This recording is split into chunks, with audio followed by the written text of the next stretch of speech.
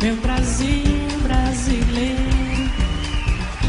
um mulato isoneiro, vou cantar.